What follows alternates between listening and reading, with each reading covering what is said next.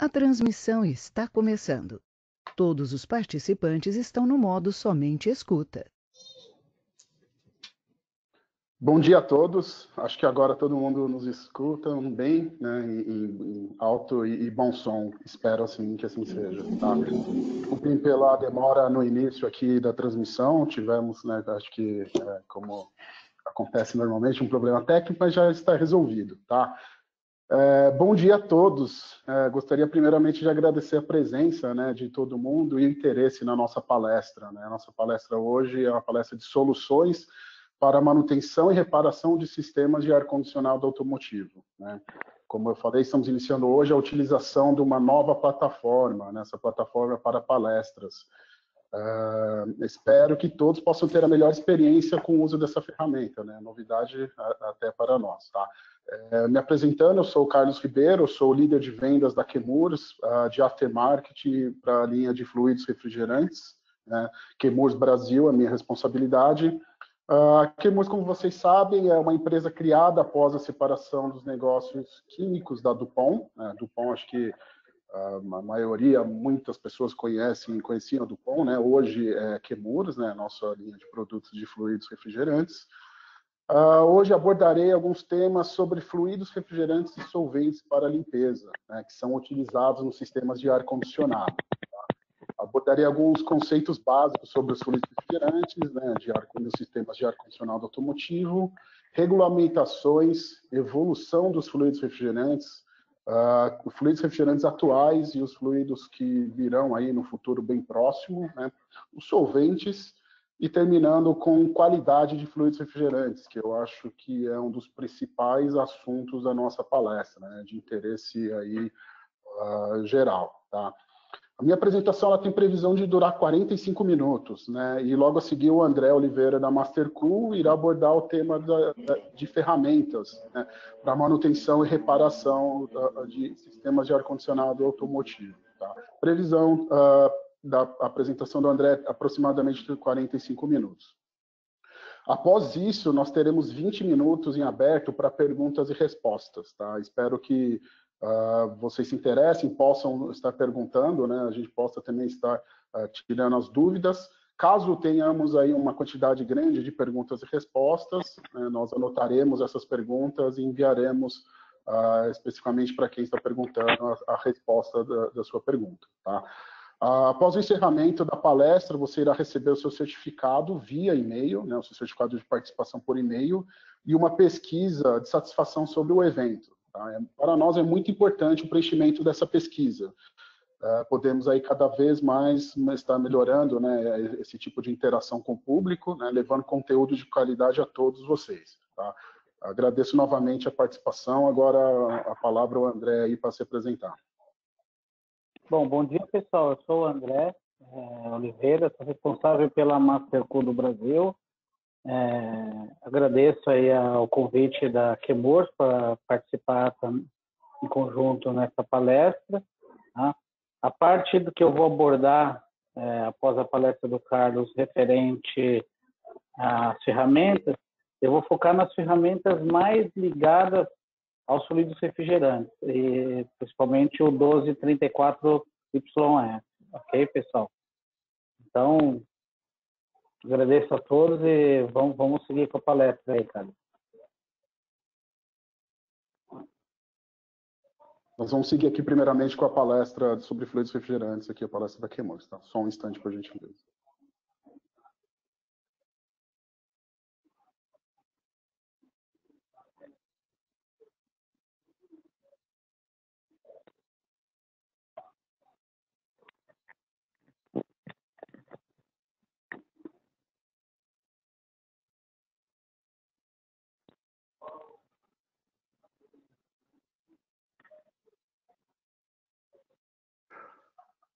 Bom, espero que todos estejam vendo a minha, a, a, a minha apresentação. Né? Como eu comentei, vou abordar aqui uh, o tema de fluidos refrigerantes. Né? Vou começar aqui com a apresentação uh, da Chemuros. Tá? É, vamos começar aqui explicando o que é Chemuros. Né? Acho que muitas pessoas já têm uh, total ciência né, do nome Chemuros no mercado, mas é importante uh, explicar aqui, passar algumas mensagens chaves da Chemours. Né?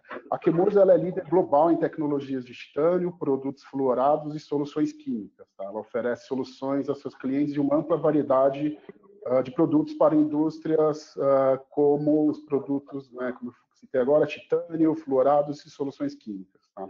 A Chemours ela traz ao mercado de refrigeração e ar-condicionado experiência de 200 anos da DuPont em seu DNA. Então, há mais de 85 anos, o negócio de fluidos refrigerantes da Chemours é líder de mercado, oferecendo a mais ampla linha de fluidos refrigerantes para a indústria de refrigeração e condicionamento de ar, em um fornecimento seguro, confiável e eficiente. Tá? O foco da Chemours é criar novos produtos que sejam cada vez melhores para o meio ambiente. Né? Por isso, a empresa desenvolveu a linha Option, linha de fluidos refrigerantes Option. Né? A gente vai abordar aqui um dos temas da minha palestra. Tá? Ah, essa linha Opt ela não degrada a camada de ozônio e tem baixo potencial de aquecimento global. Tá? Como eu falei para vocês, a Chemours ela é fabricante dos fluidos refrigerantes Option e Freon. Tá? São marcas reconhecidas globalmente pela qualidade e inovação. Por esse motivo, né, nós somos os fornecedores de grande parte dos fabricantes de equipamentos originais, os OEMs, né, as montadoras uh, de autoveículos no Brasil e no mundo. Tá?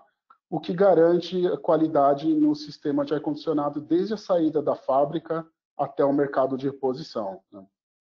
Como sabemos, existe, eh, eh, como sabemos, a carga de fluido refrigerante em um sistema de ar-condicionado é pequena, ela é cerca de 500 gramas de fluido refrigerante num sistema de ar-condicionado. Né?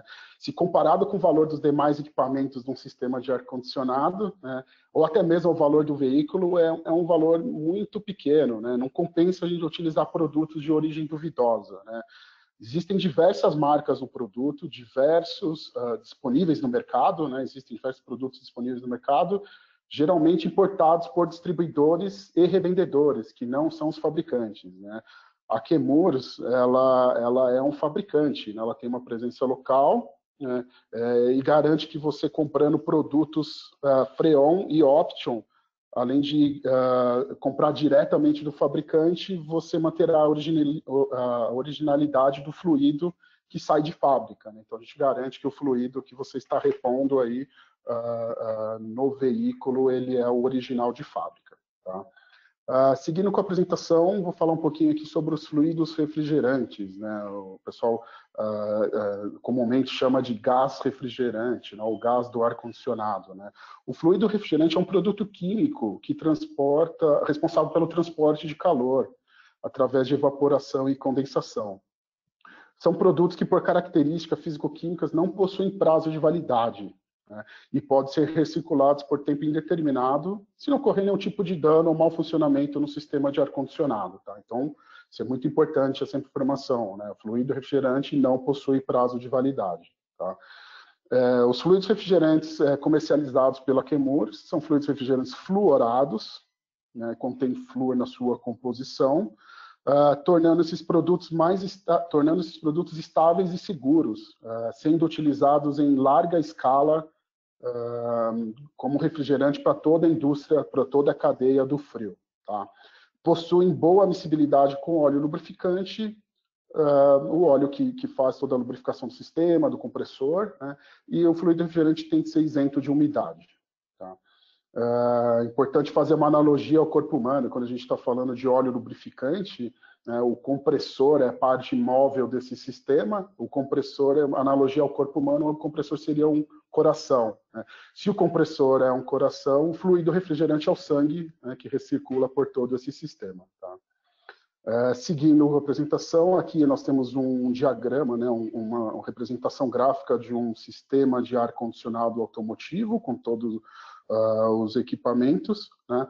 Uh, a função do ar-condicionado automotivo é muito importante, né? acho que hoje praticamente quase 100% né, dos, uh, dos veículos originais de fábrica, eles, eles saem já com o ar-condicionado instalado. Né? O ar-condicionado ele tem uh, como função controlar a temperatura e a umidade no interior do veículo, uh, levando conforto e segurança para os ocupantes. Quando a gente diz conforto, a gente relaciona conforto térmico, na temperatura adequada, né, uma temperatura de conforto, né, uh, seja em temperaturas quentes ou frias. Né. Segurança uh, também é um, é um, ponto muito importante, né? Você pode manter os vidros dos veículos eh, desembaçados, né, numa condição uh, severa de, de, chuva, né, ou até de temperatura externa bem severa, né? Uh, isso pode ajudar a evitar trans, uh, distrações né, por excessos de ruídos externos também. Tá? Num sistema uh, de ar-condicionado, fluido refrigerante é responsável por retirar o calor no evaporador, né, o calor do ambiente, do habitáculo desse veículo, e rejeita esse calor absorvido né, do habitáculo, assim como o, o, calor do trabalho do compressor no condensador. Tá? Uh, a, a, tão importante quanto saber o que é um fluido refrigerante e sua aplicação, é importante falar sobre a evolução dos fluidos refrigerantes do ponto de vista de protocolos ambientais. Né? Uh, isso acaba explicando a evolução dos fluidos refrigerantes e as mudanças dos, produ dos produtos com o passar dos, do, do, dos anos. Né? Acho que, para conceito básico, para entender essa evolução dos fluidos refrigerantes, a gente fala de duas siglas especificamente. ODP e GWP. ODP é o potencial de degradação da camada de ozônio. Né? A gente fala muito sobre o buraco na camada de ozônio, as consequências para a Terra, para, para a humanidade, né, da, desse buraco na camada de ozônio. Né? O ozônio nada mais é o responsável pela filtragem dos raios UVB na Terra, tá? que são nocivos aos seres humanos. E o GWP, que é o potencial de aquecimento global, né, o tema relacionado com gases de efeito estufa, que lançados na atmosfera criam uma camada, né, onde o calor uh, solar que reflete na Terra não é dissipado, tá, contribuindo com o aumento da temperatura média na Terra. Né, e uma das consequências é a elevação dos uh, níveis do, do, do, dos oceanos. Tá. Uh, os primeiros fluidos refrigerantes desenvolvidos foram os CFCs, né? Os CFCs foram desenvolvidos na década de 30, mas por possuírem cloro na sua composição, eles possuem um alto ODP, ou seja, eles possuem um alto potencial de degradação da camada de ozônio. Né? Após duas décadas, uh, foram desenvolvidas as moléculas de HCFCs, né? que possuem ainda né, um potencial de degradação da camada de ozônio, mesmo que mais, é, mais baixa em relação aos, H, aos CFCs. Tá? Ambos os produtos estão sobre o protocolo de Montreal. Tá? O protocolo de Montreal ele foi criado para é, eliminar né, e descontinuar o uso desses produtos no planeta. Tá? Na maioria dos, dos, países em desenvolvimento, ou, desculpa, na maioria dos países uh, desenvolvidos, o uso desses produtos já foi banido, né, em alguns outros países reduzidos, uh, como no Brasil. Tá? Na década de 90, foram desenvolvidos os HCFCs, né, que por não, não possuírem cloro, né, a gente vê que esse C, né, entre o H e o F, né, essa molécula de cloro, ela não, uh, ela não possui, não está na sua composição e não acarreta a degradação da camada de ozônio. Tá? Mas foi verificado anos depois pelos ambientalistas que eram potenciais emissores de gases de efeito estufa, quando lançados na atmosfera. Né? Como nós vimos, né, agora a, a, a sigla GWP, né, que é o potencial de aquecimento global, o tema relacionado a gases de efeito estufa. Então, esses produtos HFCs, essa tecnologia, ela é, é um grande uh, emissor de gases de efeito estufa. Seguindo com a cronologia, em 2010, a Dupont criou a quarta geração de fluidos refrigerantes, né, que são os HFOs, as hidrofluorolefinas. Tá? Ou seja, são o futuro da refrigeração e do ar-condicionado globalmente. Eles não afetam a camada de ozônio, pois não possuem ODP, zero ODP, e possuem um baixíssimo potencial de aquecimento global. Né? Então, ele é um baixo emissor de gás de efeito estufa, baixíssimo. Né? Então, uh, é o produto aí que, que substitui a, a geração de HFCs. Tá? Uh, importante colocar em contexto né, toda essa evolução dos fluidos refrigerantes automotivos. Né? Nós falamos do CFC, quando nós falamos de CFC, nós falamos de uh, produtos com alto ODP, né, ou que são aí, eh, eles são, degradam a camada de ozônio. Né? Uh, falamos do R12, né? com o passar do tempo, então, uh, a gente viu né, o R12 sendo o produto mais utilizado né, no início né, da, do, da, dos, da, climatização dos veículos automotivos. Né. O R12 foi utilizado por muitos anos, né, mas por conta da UDP ele foi descontinuado na década de 90. Né. No Brasil, provavelmente um pouco mais no final da década de 90, né, mas o produto ele foi uh, substituído, né, o R12 foi substituído pelo HFCR 134A na década de 90. Tá? E é amplamente ainda utilizado uh, no Brasil até hoje. Né? Então, a gente está ainda utilizando um produto de tecnologia HFC que possui um, um GWP alto, né? e que mais cedo ou mais tarde vai ser substituído pelo HFO. Né? HFO, quando a gente fala do produto HFO, nós estamos falando do R1234YF, né? o fluido refrigerante que vai substituir o, o 134A no Brasil, mas que já substituiu uh, esse produto em outros países. Tá? No meio dessa transição foi, uh, uh, foi criado o fluido refrigerante R437A, que é um HFC, né, o veículo utilizado para retrofit do R12. Tá? Uh, falando desse fluido especificamente, né, o R437A, uh, ele tem como referência comercial o Freon MO49 Plus, né, que é o produto que o pessoal conhece no mercado como substituto direto do R12 em veículos que já continham R12 na sua, uh, no seu sistema. Tá? Então, ele foi desenvolvido para retrofits né, de veículos com R12. ele é compatível né, com com todos os tipos de óleo, né? óleos minerais que eram utilizados na R12 e os óleos sintéticos, o poliéster e o PAG. Tá? É sempre importante uh, revisar a condição do óleo, né? Quando a gente está falando de um veículo que circula com R12 no seu sistema, é um veículo mais antigo. Né? Veículos antigos é bom uh, checar a, a, condição do óleo. Tá? Uh, geralmente, as cargas de MO49 Plus são 10% menores que as cargas de R12. Tá? Isso, uh, quando for fazer um retrofit, tem que ser levado em consideração. Tá? A relação pressão e temperatura ela é diferente. Né? É importante sempre consultar a tabela de pressão e temperatura para corrigir a pressão do sistema, né? levando em consideração a temperatura de evaporação requerida. Tá? Como nós podemos ver aí nessa, nessa figura, ele está disponível em DACs, que são cilindros uh, descartáveis, né, e latas. Né? Nós temos as latas de, de freio MO49 Plus. Tá? Seguindo com a cronologia, né, depois da, da, descontinuidade do uh, R12, né, e vimos que o MO49 Plus era uma opção para fazer retrofit, os novos veículos começaram a, a ser produzidos com R134A.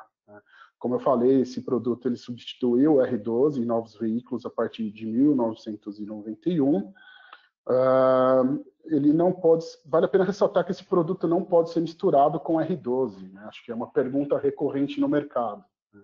Nem no sistema de, uh, de ar condicionado, tampouco nas máquinas de recolhimento. Tá? Então é bom sempre é, levar em consideração essa questão na hora de fazer executar um serviço e recolher o R12, tá? Por conta é, justamente do projeto desenvolvido para a R134A, tá? Então, uh, o, o, compressor, os elastômeros, o evaporador, todo projeto de equipamentos é específico de 134A, ele não vai funcionar com o R12. Como eu falei, ele possui zero ODP, ele não tem impactos para a camada de ozônio. Tá? Então, esse foi um dos, uh, dos, motivos do desenvolvimento desse produto até a década de 90. Certo?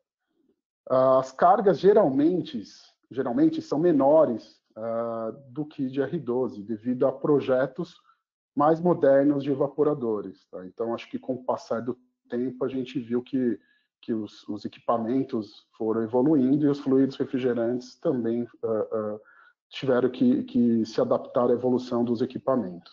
Tá? Como vocês podem ver, uh, o produto está disponível em DACs também, em cilindros descartáveis, e em latas, né? na apresentação de lata para o mercado de reposição. Seguindo, eu falei lá agora há pouco sobre os HFOs, né? o produto referência comercial da Chemours é o Option YF, né, ele é o produto R1230, R1234YF, é, é a última geração de fluidos refrigerantes uh, para sistemas de ar-condicionado uh, automotivos. Tá? Esse produto ele possui uma capacidade e eficiência muito similar ao R134A, não é esperado grandes mudanças em termos de performance, em capacidade. Esse produto ele tem uma classificação pela ASHRAE, que é a Sociedade Americana de Engenharia de Ar-Condicionado e Climatização, 2L, é, o que, significa C2L? Significa que esse produto ele, ele é, é levemente inflamável. Tá? Depois, um pouco mais abaixo, a gente vai falar especificamente sobre essa classificação de inflamabilidade. Produto é, é, ele trabalha com óleo PAG específico para R1234YF. Então, é muito importante seguir a recomendação do fabricante verificar qual é o tipo de óleo, o tipo de viscosidade específica para o 1234YF. Tá?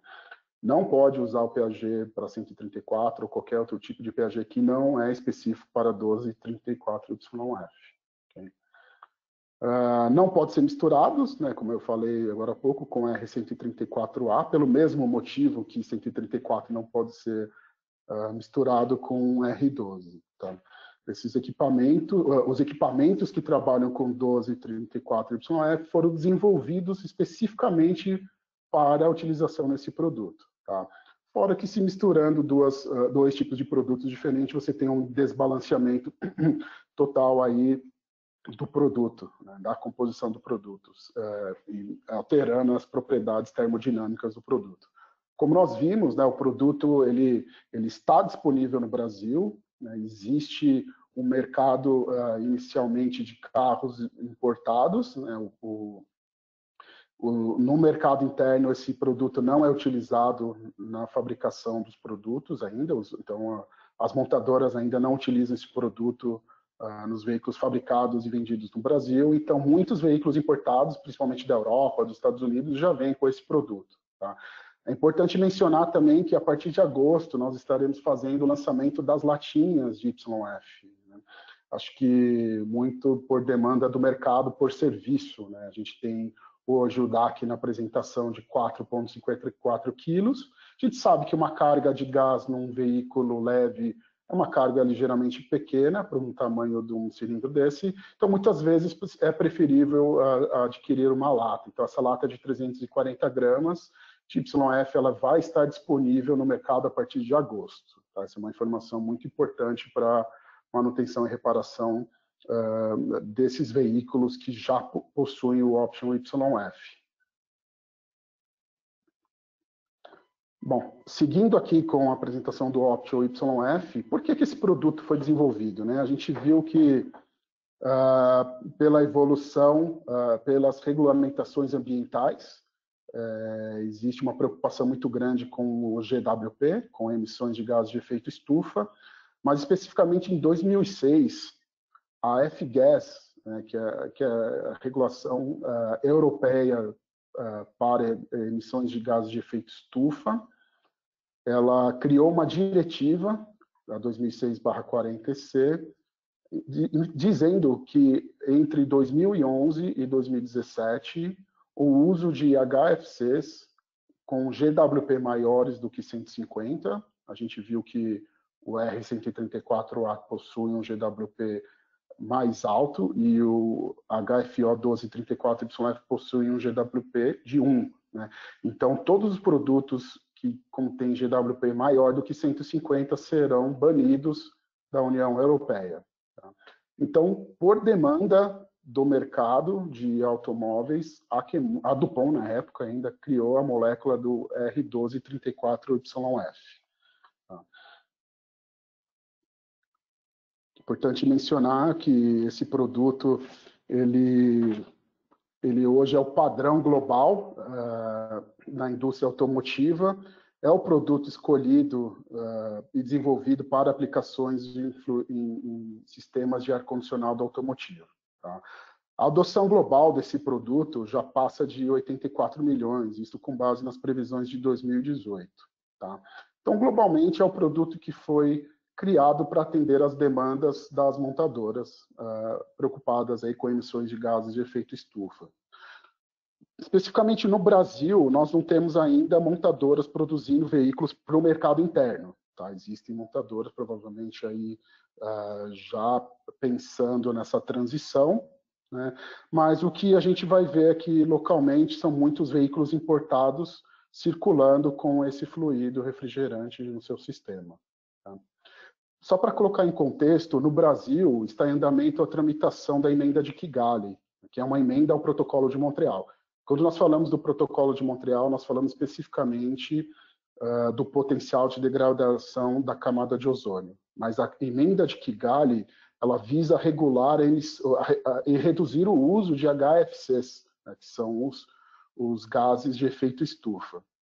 Uh, por isso, muito provavelmente nos próximos anos, nós vamos uh, estar falando sobre reduções de gases de efeito estufa. Então, os, os fluidos refrigerantes, principalmente os HFCs, vão uh, passar por uma transição para os HFOs. Tá? Além disso, a indústria automotiva ela tem uma meta, né? a Rota 2030 tem uma meta de emissões. Essa meta é baseada no Acordo de Paris. Né? O Acordo de Paris ele visa, né, nos próximos anos, reduzir a emissões de gases de efeito estufa. Então, é onde que as montadoras vão passar a adotar o 1234YF como produto é, substituto do R134A. Tá?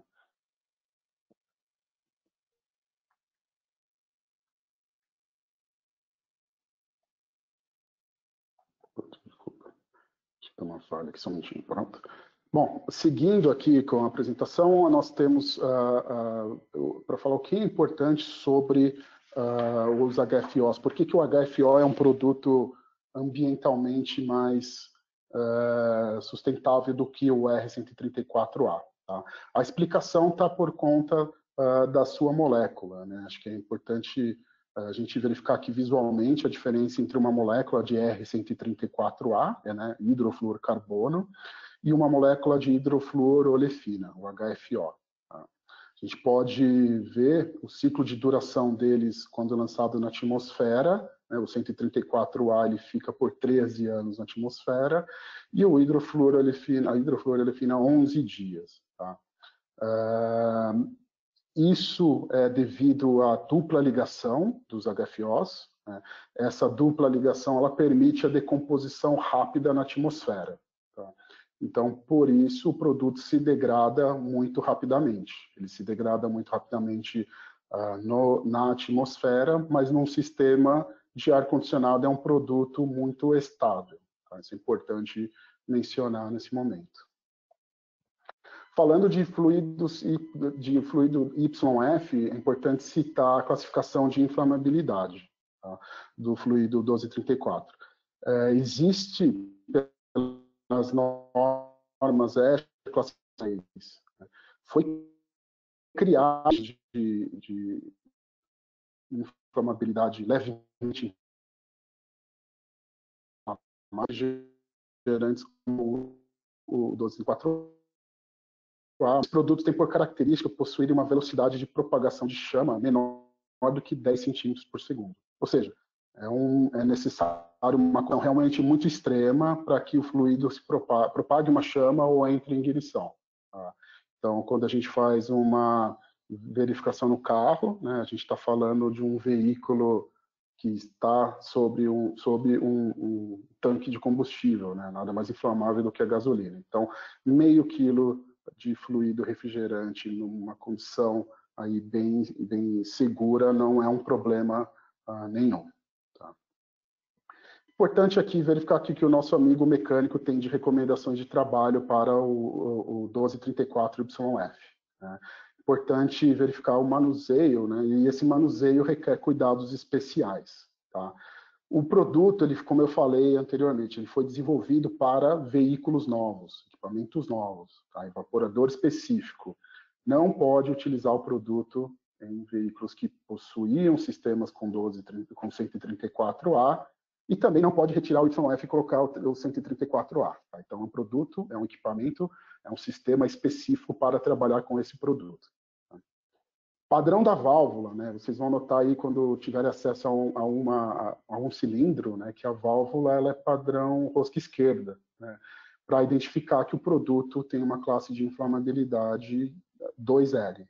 Tá? Então, acho que por distração, muitas vezes, durante o serviço, o pessoal pega lá a embalagem e pode notar que, que há, uma, há uma diferença no padrão de abertura de válvula. Não pode soldar peças. Né? O produto tem uma classe de inflamabilidade, mesmo que leve. Né? Se induzir calor num ponto é, é, é muito preocupante. Tá? Então, a Chemus não recomenda soldar peças em sistemas que trabalham com 1234YF. Verificar a miscibilidade de óleo lubrificante, o PAG. É muito importante uh, utilizar PAG recomendado pelo fabricante fabricante, eh, ele, ele, com base no fluido refrigerante, com base nos equipamentos, ele estipula qual é o melhor fluido refrigerante para o seu sistema. Então, essa é uma recomendação que tem que ser consultada no manual. Existe uma etiqueta amarela também, quando você abre o capô do carro, você tem a identificação nessa etiqueta amarela, qual é o fluido refrigerante, qual é o tipo de óleo, quais são as cargas. Né? mas muitas vezes pode ser que não esteja, então é sempre bom consultar os manuais.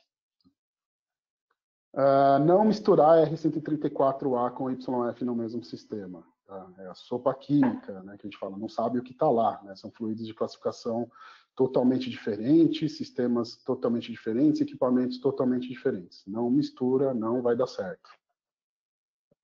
Recolhedora. Recolhedora tem que ser própria para fluidos A2Ls, A2L, né? São fluidos levemente inflamáveis. O André vai falar um pouco mais na apresentação dele, né, sobre o, os equipamentos, recolhedora e ferramentas que trabalham com fluidos refrigerantes automotivos, tá? Então é importante quando uh, quando o André estiver na parte dele uh, uh, seguir aí a orientação do fabricante da recolhedora. Tá? Detector de vazamento específico para HFO também. Tá? É, aí o André provavelmente também vai falar sobre uh, esse assunto. Tá? Então, são equipamentos uh, para manutenção específicos para HFO. Seguindo essas recomendações, quando tiverem aí eh, diante de um veículo que possui esse, esse eh, fluido refrigerante no sistema de ar-condicionado, vai dar tudo certo. Tá? Então, a gente espera é, é, que realmente é, as oficinas, né, os técnicos, os mecânicos sigam as orientações do fabricante, nossa orientação quanto a, ao uso do fluido refrigerante, a, orientação do fabricante do veículo, fabricante de óleo, fabricante de compressor. Né? Então, é sempre bom aí consultá-los antes de qualquer tipo de trabalho. Bom, seguindo aqui, acho que é importante só falar, eu falei aqui da, da, da, identificação do fluido, tem a etiqueta amarela, seguir a orientação lá da, da identificação do fluido refrigerante. Tá? Falar um pouquinho sobre os solventes de limpeza, né? Acho que num sistema de ar-condicionado automotivo tão importante quanto um bom fluido refrigerante, um bom uh, sistema aí com equipamentos adequados, é a, previ, a, previ, a manutenção preventiva desse sistema, né, com limpeza de por solventes de limpeza. Né. Então, o mercado está muito acostumado com R141B, né, que é um produto aí é, que realiza a limpeza para retirada de óleo, detritos e contaminantes. Né. Essa limpeza é muito mais é, conhecida no mercado como flushing. Né. Então, é um, é um solvente né? E, e, o R141B que recircula um sistema de ar-condicionado veicular. Tá? Esse procedimento é muito claro, né? ele deve retirar o, completamente o óleo, os detritos, os contaminantes uh, das paredes internas, dos tubos, das mangueiras e do sistema de ar-condicionado automotivo. Então, qualquer tipo de reparação aí, seja por algum, por colisão, por problema no sistema, no sistema é sempre bom utilizar o, o fazer um flushing com o R141B. Tá? É, esses objetos, né, que indesejáveis num sistema de, de, de ar-condicionado automotivo, eles estão presentes devido à deterioração dos equipamentos, né, do compressor, do filtro acumulador, uh, do secador, né, do ar-condicionado, uh, que são mais uh, comuns aí de deixar algum tipo de resíduo não desejado. Tá? Como vocês podem ver aqui, o, o, o 141B, ele contém um alto, um bom teor de solvência né, e não é inflamável. Só que ele contém ODP. Né, quando a gente olha a composição molecular do 141B, ele é um HCFC, ele possui cloro na sua composição, então ele degrada a camada de ozônio. Então, se ele degrada a camada de ozônio, ele vai deixar de ser utilizado. Tá? Então, é um fluido que está, é um solvente que está em fase de descontinuidade pelo protocolo de Montreal. Tá? Atualmente, o 141B ainda existe, está disponível no mercado brasileiro. Tá? É, por mais que ele esteja um pouco mais restrito, ele ainda existe e ele ainda vai continuar existindo por um bom tempo. Tá? Diante disso, a Chemus criou uma, um produto alternativo, né? a nossa tecnologia é, alternativa que, que é, com base nas moléculas de HFOs, como a gente viu, eles não possuem ODP e têm um baixo GWP. Tá? Então, o produto que substitui o 141B, um produto da Chemus, é o HFO SF80. Esse produto ele está disponível em tambores, né, tambor líquido de aproximadamente 20 quilos. É um solvente de limpeza de alta solvência, uh, como agente limpante. Né? Ele não é inflamável, acho que isso é muito importante. Né? Existem algumas alternativas aí que são inflamáveis no mercado, né? então é uma, é uma questão muito séria uh, quando a gente fala de inflamabilidade na na manutenção de fluidos, uh, de sistemas de ar-condicionado automotivos. Tá? Eles não requerem adaptação, não requer adaptação de equipamentos. Né? Então, o André, lá na apresentação dele, ele vai falar do, do sistema de bombeamento, lá da máquina, do equipamento de bombeamento que ele tem para fazer o flushing. Então, é muito importante que o mesmo que você usa aí para outros fluidos refrigerantes pode ser utilizado para o Option SF80. É, o, o Option SF80 ele é seguro e está disponível comercialmente. Né? Quando a gente fala seguro, além da questão da inflamabilidade, é importante dizer que existem produtos no mercado, soluções para substituir o 141B, que são corrosivos, né, que são nocivos às partes metálicas, principalmente do compressor, né, ou, demais, ou dos equipamentos, né, do, do, do, condensador, do evaporador. Então, é muito importante dizer que o SF80 ele é muito seguro, tá? ele não é corrosivo. E ele está disponível comercialmente. Tá? É importante, você que trabalha em oficina ou que, que tem alguma relação com o mercado de climatização automotiva, buscar o seu distribuidor, o seu revendedor aí, porque ele já, ele já tem acesso ao produto, ele já está disponível comercialmente. Tá? Poder de solvência superior ao 141B. Isso é muito importante, tá? Quando a gente compara o poder de solvência, a gente diz que é praticamente o dobro, né? o SF80. Existe um adimensional, que é um fator, que é um poder de, sol, que é o poder de solvência. É, esse poder de solvência é o dobro do 141B, o que induz né, a gente dizer que ele limpa muito melhor do que o 141B em, em algumas condições. Tá? Então é importante checar essas condições, importante testar o produto, né, e verificar que ele é um, é um produto, é uma opção muito segura uh, e viável para uh, eh, manutenção aí dos sistemas de climatização automotivos. Tá?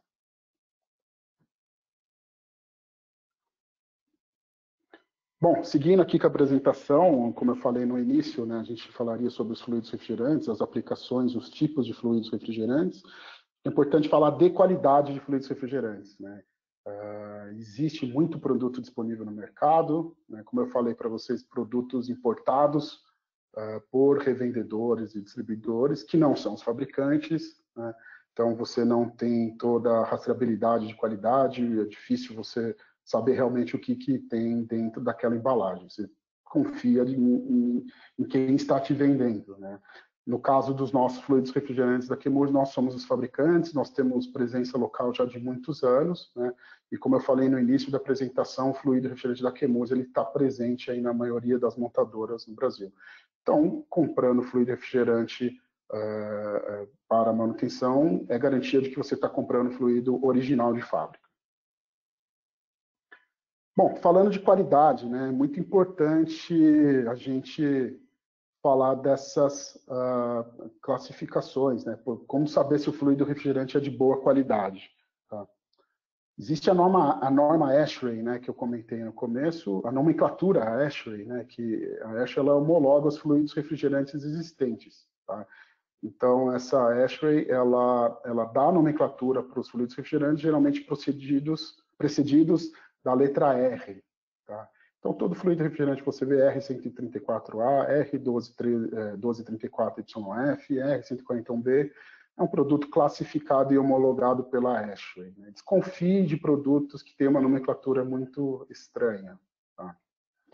O Option SF80 é um caso à parte, pois os solventes, né, o, o SF80, ele não tem classificação ASHRAE por ser um solvente. Importante também citar a nomenclatura da norma ARI, a norma ARI 700. Tá? A norma ARI 700 ela padroniza as especificações de qualidade de fluidos refrigerantes halogenados. Tá? Então, a gente fala da composição do 134A, do nível de resíduos, uh, ou, enfim, uh, uh, das especificações do produto, ele segue essa norma ARI 700. Então, o fluido refrigerante da Chemours, eles são garantidos conforme as normas internacionais e os, maior, e os padrões mais elevados de qualidade. Aqui, como eu falei, desconfiar de nomenclatura expressa nas embalagens. Né? 134A maiúsculo, né? primeiro que o 134A ele, ele leva uma letra minúscula, tá? isso é uma questão uh, de classificação, o produto é uma substância uh, simples, uma substância pura, né? não é uma mistura, então tem que ser minúsculo, tá? mas aqui o, o, o que chama atenção é, é olhar realmente essa falta de detalhes, né? falta de cuidados aí com esses níveis de, com esses detalhes, né? vê que, por exemplo, nessa lata aí que, que foi verificada no mercado, aí, que foi encontrada no mercado, uh, ele tinha um padrão de válvula de um outro produto, o R410A, ele tinha a nomenclatura ASHRAE errada e a composição do 410A, ou seja, escrito que era 134A, porém a composição do produto não tinha nada a ver com R com R134A, era um R410A. Tá? Então é importante é, tomar cuidado aí é, com esse tipo de, de produto no mercado. Tá? Quando a gente fala tomar cuidado, é porque assim, o, o fluido refrigerante da Chemours, ele está disponível, como eu falei, ele é original. Né? Não compensa, pela diferença de preço, você arriscar com um produto de origem uh, duvidosa, de procedência duvidosa. Né? Então, trabalhar com fluido original para uma pequena carga de meio quilo, mesmo que, que, tem alguma diferença de custo, não, não vale a pena. Tá? Isso é importante ter em mente. Cuidado com fluidos refrigerantes adulterados. Né? Acho que o mais importante aí do que você é, substituir o fluido refrigerante num sistema de, de ar-condicionado para que ele é, continue performando da maneira mais adequada é a segurança, é a sua segurança, a segurança do condutor do veículo. Né? que a gente pode ver na foto uh, um produto inflamável. Né? O R134A não é inflamável. Tá? Então, foi verificado que existia um outro produto, o R415B, né, esse produto de origem chinesa, disfarçado de R134A. Tá?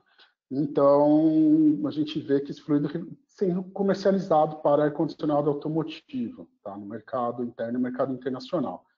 Você vê a foto aí, uh, fluido pegando fogo. Isso realmente é, é, muito perigoso aí para quem conduz o carro, para quem está fazendo a manutenção. Aqui, uh, uma, uh, uma matéria que saiu no Colin Post, que é um site aí global de informações sobre o segmento de refrigeração e ar-condicionado, que avaliou diversas marcas de R134A na China. Tá? China, como a gente sabe, é o maior produtor aí desses fluidos refrigerantes atualmente. 50% desses produtos analisados não atenderam os requisitos mínimos de qualidade. Tá? Eles possuíam contaminantes, presença de umidade, uh, outros tipos de fluidos não condensáveis totalmente uh, inadequados ou indesejáveis para um bom funcionamento de um ar-condicionado automotivo. Tá? Então, muito cuidado né, com produtos aí sem marca, produtos de marca duvidosas, né, que estão disponíveis no mercado. Tá? Então, você não sabe o que você está colocando lá dentro desse sistema. Tá? Importante falar aqui da umidade, um dos principais contaminantes né, dos fluidos refrigerantes. Né? Fluidos refrigerantes, originalmente, eles devem ser extra seco, eles não devem conter umidade no sistema. Tá? A umidade e outros gases não condensáveis, eles alteram as condições de trabalho no sistema. Tá? No caso do fluido refrigerante, por ele ser fluorado, ele gera ácido fluorídrico tá? na presença de umidade, que pode ser corrosivo e incompatível com as partes metálicas né, do sistema podendo comprometer a vida e o bom funcionamento do compressor, das vedações e dos demais equipamentos do sistema. Tá? Então, é muito importante tomar cuidado com umidade. Né? Garante o produto queimoso, original de fábrica ou o produto vendido na reposição, ele é extra seco, né? então não, não, não tem um problema aí com umidade. Partículas sólidas, né? É, elas podem danificar os componentes do sistema, como vimos aí atrás, né, eles são resíduos indesejáveis nos sistemas de ar-condicionado. Pode danificar os componentes dos sistemas, pode alterar todo o comportamento termodinâmico do produto, né, do, do, desculpa, termodinâmica do fluido refrigerante. Tá? Então, a gente vê aí decomposição de fluido refrigerante em forma sólida, material insolúvel acumulado no sistema. Né? Então, tem um monte de porcaria lá que realmente é, vai afetar o bom funcionamento do sistema. Segurança de embalagens e manuseio. Né? Acho que é importante a gente citar também né, que o fluido refrigerante, ele, as nossas embalagens de 134A, enfim, as embalagens pressurizadas, as latas, elas possuem um disco de ruptura, né, um selo de segurança, que ele vai romper em caso de aumento de pressão interna nos cilindros, né, geralmente por alta temperatura, e permitir que o fluido vaze e não exploda, né, que acho que é o principal aqui, a segurança de todos as informações de manuseio e armazenamento, elas estão nas, na caixa, né? Quando você recebe um produto na caixa, os cilindros têm uma caixa. Ali tem todas as informações de manuseio e armazenamento, tá? Você recebe uma FISP, ou pelo menos você deveria receber uma FISP, que é uma ficha de segurança de produto químico, tá? É, para é, saber como fazer o descarte desse produto, né? Importante, né? é, produto que vaza, que vai para a atmosfera, é crime ambiental. Tá? Se você abrir e jogar para a atmosfera, é crime ambiental e inafiançável. Então, garanta realmente que o cilindro não contém mais produto, verifica a pressão interna do cilindro, né, para equalizar com a pressão uh, do ambiente, e caso esteja vazio, você fura e descarta ele conforme a recomendação da FISPIC. Tá? Uh, algumas recomendações aqui, tomar cuidado com o uso de mantas térmicas, isso não é indicado. Tá? Uh, as embalagens não devem ser reutilizadas. Tá? Tem uma foto de uma churrasqueira. Né? É muito comum a gente ver churrasqueiras com cilindros. Tá? Não pode ser reutilizado. Recirculou ali produto químico, é, você vai utilizar isso aí para fazer ali, assar né, uma carne, realmente você tá, pode estar tá se contaminando.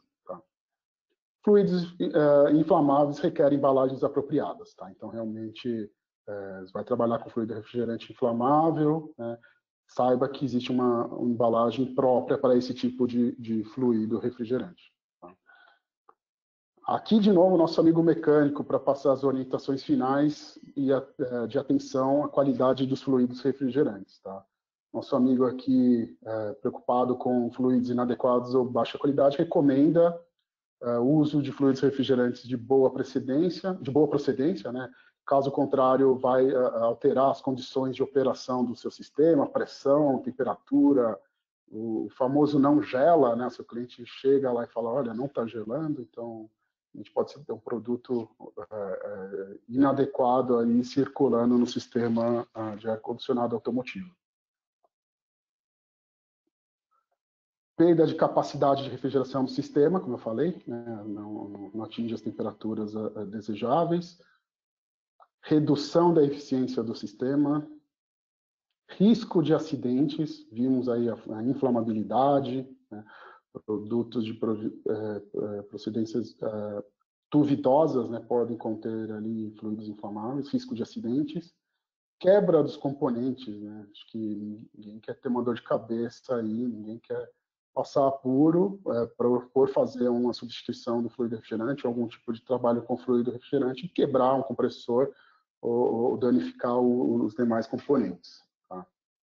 E o pior de tudo, né, gera, gerando insatisfação do cliente. Ninguém quer ter um cliente insatisfeito. Né? Então, atenção à qualidade de fluidos refrigerantes. Com isso, eu encerro a minha apresentação. Espero que todos tenham gostado. Vamos seguir aí para a apresentação do André.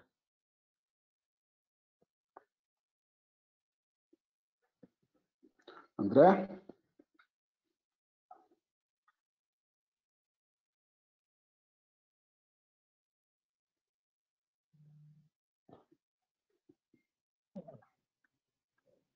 Som está ativado.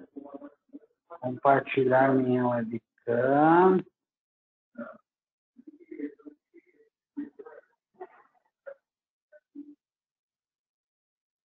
Mostrar segunda tela.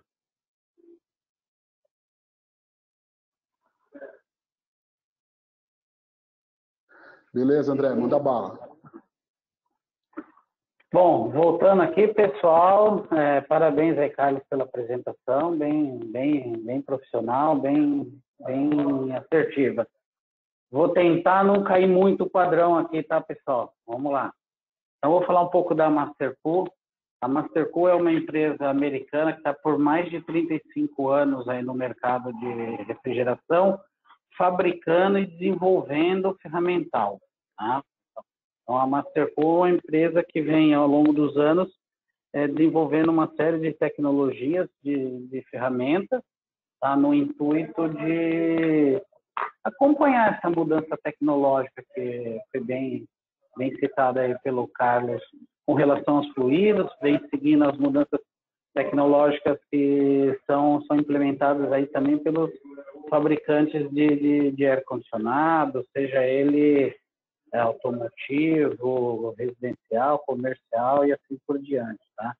Então a gente fica tem a matriz nos Estados Unidos em Nova Jersey. Nós temos três filiais ao redor do mundo. É, a primeira delas foi, foi na Bélgica, tá? Para atender o mercado europeu. Depois, há seis anos atrás, viemos para o Brasil, tá? Com a filial brasileira. E um pouco mais recente, a filial australiana da, da Mastercard, tá? E além de distribuidores é, ao redor do mundo. Então, é uma empresa global aí, é, fabricante de ferramentas para refrigeração. Então, vamos falar da ferramenta, tá? É, a ferramenta é uma extensão do, do, profissional, tá? A gente entende assim, a gente vê muito aí o pessoal falar, ah, o cara não vai ser bom por, por não ter ferramenta, ou ter ferramenta é, não faz, não é, o cara tem uma ferramenta e não sabe usar. É, em parte é verdade, tá, pessoal? Uma boa ferramenta, ela não vai fazer o, um profissional que não tem habilidade ser um bom profissional, tá? Mas a ferramenta ruim, ela compromete sim o resultado final do trabalho do técnico, tá? Então, assim, a ferramenta não substitui o técnico, mas ela tem que ser de boa qualidade questão de, de, de, economia, segurança e assim por diante. Tá, ok. É, tá, pessoal? Então, a ferramenta, entendam a ferramenta como um investimento. Tá? A ferramenta, ela tem a função de te trazer velocidade, tá? então você executar o serviço mais rápido é produtividade, produtividade gera economia de custo. Ok? Então, o cara pegar e fazer uma flange, fica lá, ó, meia hora para conseguir acertar a flange, põe no sistema, vaza, tem vazamento, perde fluido refrigerante, é, tem vazamento posteriormente, toda a perda é, vai te reduzindo, vai, vai sendo considerada custo e vai reduzindo a sua rentabilidade, tá, pessoal? Então, a ferramenta boa, ela traz todos esses ganhos para você e, e dura mais. Então, uma ferramenta barata que dura três meses, ela é mais cara do que uma ferramenta que o valor de face é mais caro, mas ela dura dois anos, ok? Então, assim, você, você dividir o custo da ferramenta pela quantidade de vezes que ela foi utilizada, a ferramenta de qualidade vai te dar um custo por unidade muito menor do que uma, uma ferramenta ruim, tá, pessoal? Então, então foque nisso, que faz parte do, do, do investimento a ferramenta. E apresentação, tem uma série de coisas aí que estão envolvidas aí é, hoje no técnico, fluido refrigerante de qualidade, vários tipos e assim por diante, o técnico também tem que ter um arsenal de ferramentas compatível com, com toda essa tecnologia que está envolvida, tá ok, pessoal?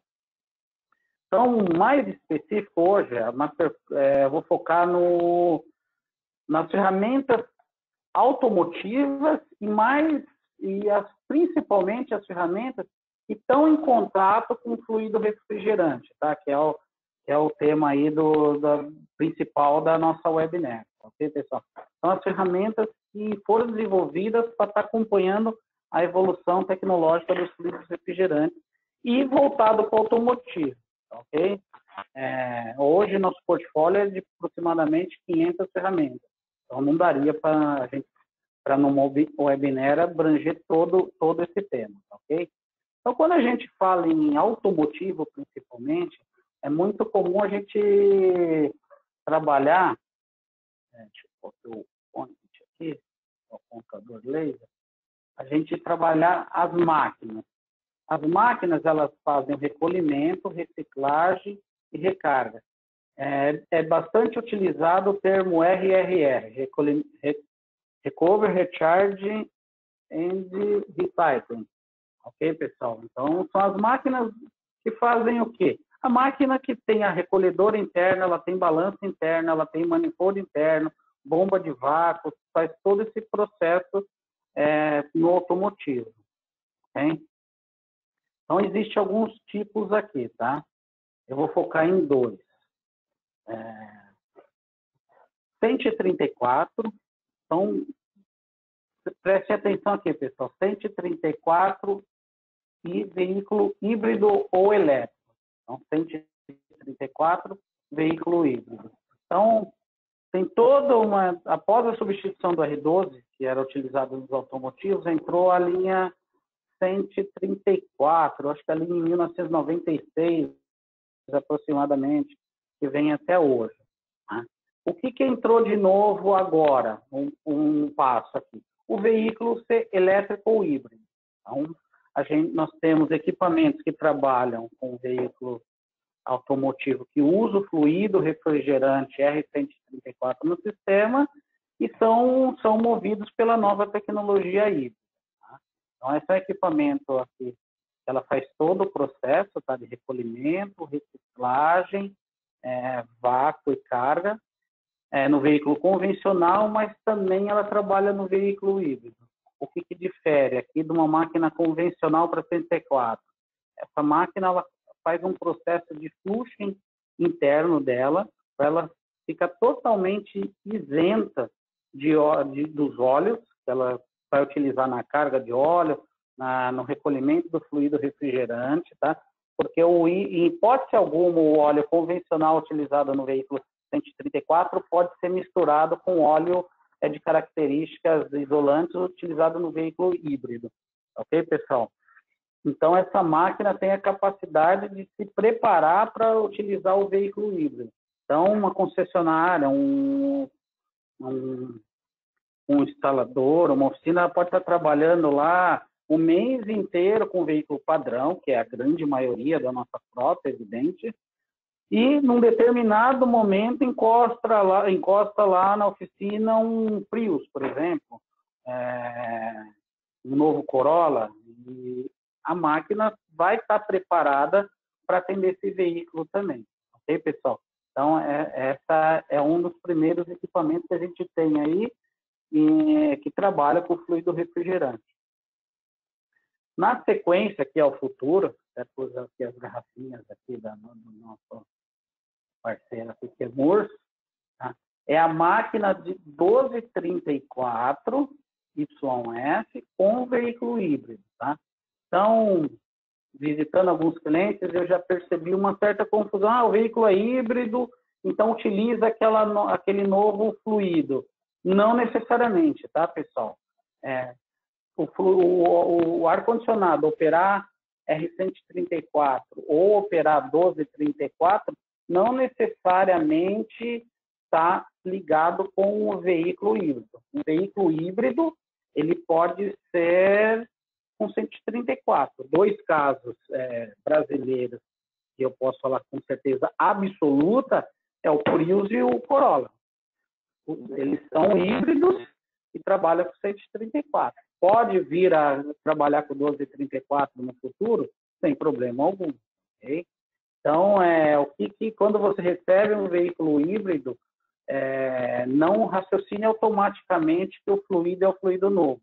Então, tem que ir na especificação do fabricante e ver com qual fluido esse equipamento está trabalhando, ok? Então, então a, aqui você tem um equipamento que vai fazer o mesmo trabalho, tá?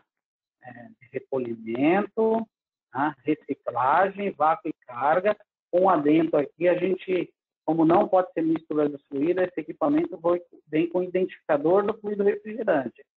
Então, se o camarada colocar lá no carro e por algum motivo aquele carro era 1234 e alguém fez alguma, vamos falar o português claro, alguma gambiarra para pôr um outro fluido, 134, é, a máquina, ela, antes de fazer qualquer processo, ela vai, ela vai bloquear, ela vai entender que aquele fluido na verdade, ela vai analisar que aquele fluido não é o correto e não vai recolher para dentro do equipamento.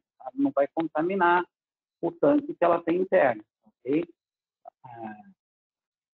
feito isso, passando por essa fase, ela vai fazer o recolhimento, fazer a reciclagem do fluido 1234, é, fazer a injeção de óleo quando é solicitado, tá? Eu tenho os dados aqui para fazer a injeção de óleo, pode ser dois tipos de óleo, ou pode ser um, um a óleo, outra contraste, quando é permitido pelo fabricante, evidentemente. E a terceira garrafinha aqui é para é, descartar o óleo usado. Tá? Então, o que, que a máquina faz? Ela também faz o processo de injeção de óleo automaticamente. Eu posso fazer de, de algumas maneiras automaticamente o que ela recolhe de, de quando ela recolhe o fluido, faz a desidratação, faz a filtragem, o óleo que ela traz, que está miscível com o fluido refrigerante, tá? É uma função do fluido, inclusive carregar o óleo, o óleo tem que ser correto e compatível com o fluido refrigerante, senão ele não vai arrastar esse óleo para o sistema. Esse óleo ele vai ser arrastado, vai fazer a lubrificação, faz parte do processo de lubrificação do, do ar-condicionado, da parte do ar-condicionado. Quando a, a, gente recolhe esse, esse, esse fluido, a máquina ela separa esse óleo e descarta aqui. E automaticamente ela devolve a mesma quantidade que ela recolheu. Aqui todos esses frascos, eles estão sob balanças de precisão. Então, recolheu 3 ml de óleo, que vem no fluido, ela devolve esses 3 ml de óleo. Ou ela, você tem a possibilidade na programação da máquina de você fazer o recolhimento, ela vai considerar esses 3 ml. Ah, mas eu troquei uma mangueira. É, o pessoal aí do automotivo tem muita experiência nisso. É, ah, troquei uma mangueira, vai 10, 15 ml de óleo. Troquei um condensador, pode ir ali em torno de 30 ml de óleo. Então, se você fez essa operação, você pode programar a máquina para devolver esse fluido refrigerante para dentro do, do, equipamento. Isso tudo de forma automática aí, pessoal, tá? Então, é, você tem você tem essa possibilidade de fazer através da programação aqui do painel. Aqui ela usa, na realidade, uma tecnologia inovadora aí da Mastercool, é é um tablet ali, na realidade você está numa plataforma Windows e com conectividade Wi-Fi. Então a gente consegue operar a máquina remotamente, fazer diagnóstico. É, uma máquina pode estar no Amapá, a gente entra por aqui e diagnostica a máquina de eventuais é, problemas, tá? Ou até mesmo um treinamento aí para os técnicos? Então essa máquina aqui, que é 1234, ela vai utilizar o YS, o option YS, tá? nessa, nessa apresentação. Então, esse YS aqui vai ser conectado à máquina, ele vai, essa, é, aqui dentro tem um tanque, ela vai recolher, ela vai puxar, não é bem recolher, ela vai transvasar, tá? Porque não usa o processo de recolhimento. Todo esse fluido aqui para dentro da máquina, ok? É, e a partir daí vai fazer a operação, ok? Então a máquina traz uma economia de mão de obra, de perda de fluido, de agilidade no trabalho muito grande aí é, no campo.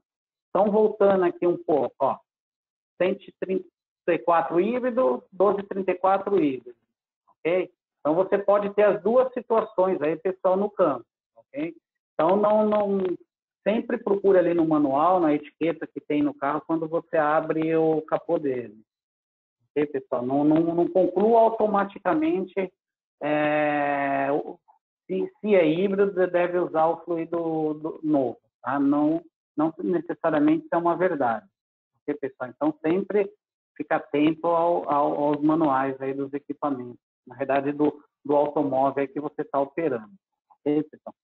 E aí você tem outras possibilidades também. Tá?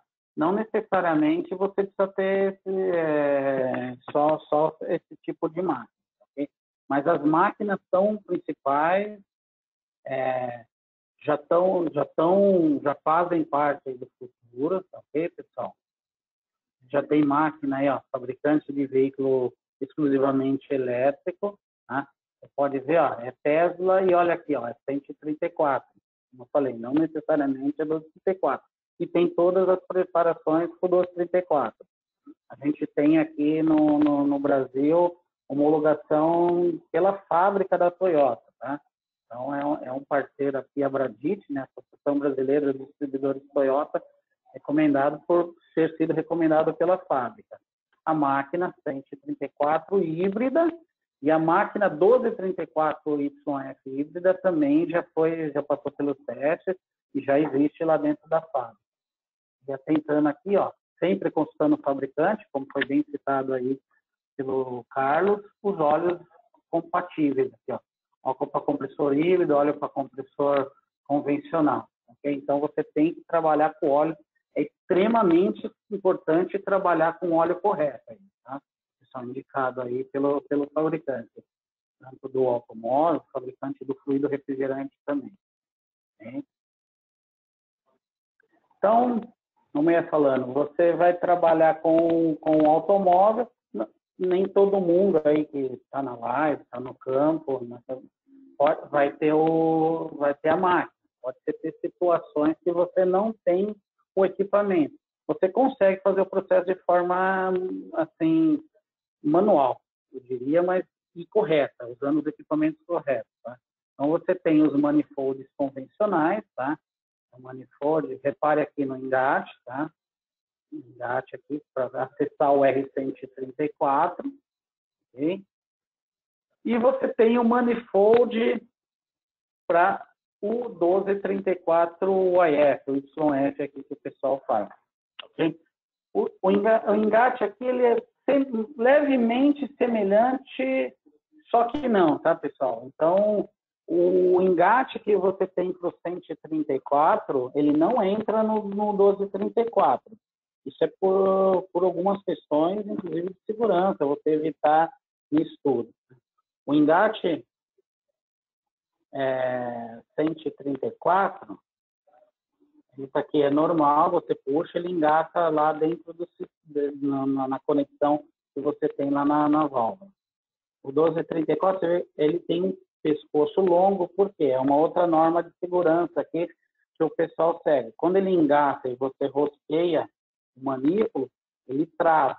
Então, quando ele está fechado, na verdade está rosqueado aqui, eu abro no sistema rosqueando para rosca horária. Eu fecho, se eu vim aqui manualmente, eu não consigo desengatar ele do sistema, por estar trabalhando aí com fluidos, com fluido que tem uma leve flamabilidade, aí como citado pelo Carlos, 2L.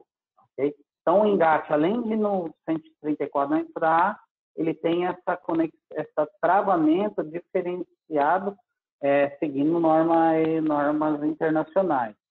As roscas também, pessoal, são roscas esquerdas, são roscas ao contrário, que é bastante comum quando você está falando de, de fluido inflamável, ok, pessoal? Quando está mexendo com, com gases inflamáveis, fluidos inflamáveis.